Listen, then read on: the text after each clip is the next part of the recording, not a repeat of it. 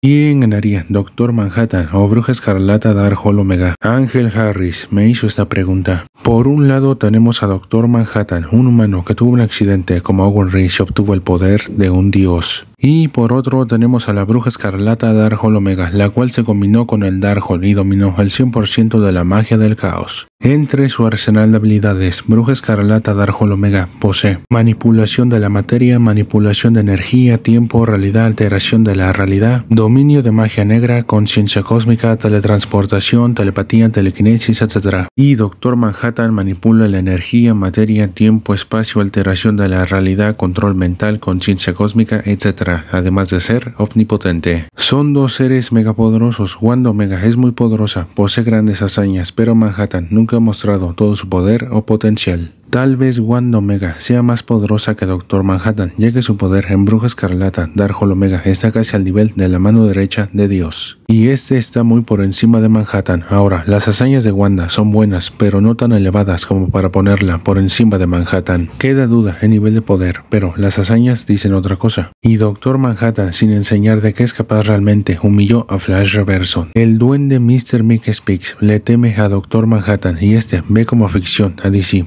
Crea destruye universos con sus manos. Sí, Wanda superó a Chidon a muerte y es la segunda mujer más poderosa de toda la creación de The Wanna Pop All. Todo lo que haga Wanda, Manhattan lo puede hacer, además de que Doctor Manhattan es más inteligente y astuto que Wanda. Y esta al estar más loca de lo común, pues Manhattan podría crear un plan y Wanda al estar en modo locura sin pensar, pues caerá directo al plan de Manhattan. Conclusión, gana Doctor Manhattan, pero tampoco se descarta una posible victoria de Bruja Escarlata Dark Hall Omega.